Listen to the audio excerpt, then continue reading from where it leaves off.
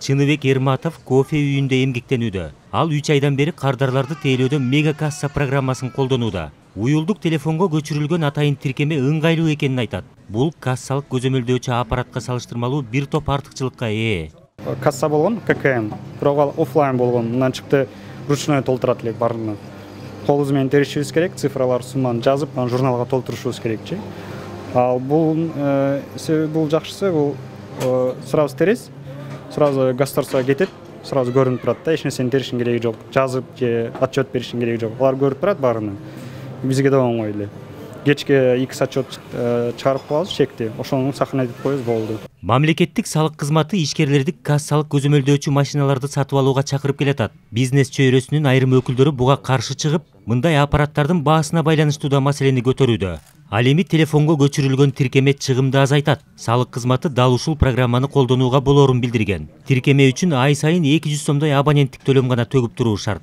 Пожалуйста ваш чек.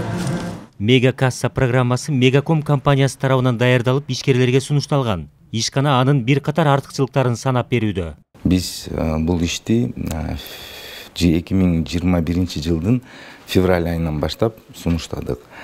Негизи эң негизги айырмабыз бул биздин касса эгерде клиентибизде интернет байланышы же свет жок болсо жыйырма төрт саатка чейин автономдуу иштейт. Андан сырткары бухгалтерлик эсеп кысап системалар менен интеграциялуу функционалы бар.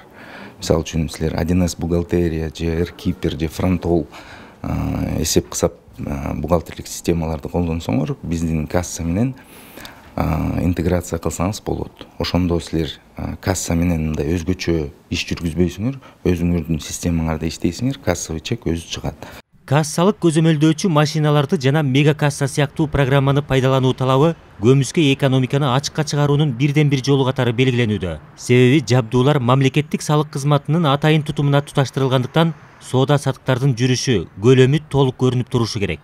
Калыгул асанбаев азамат кыдыр токтоев ала тоо жыйырма төрт.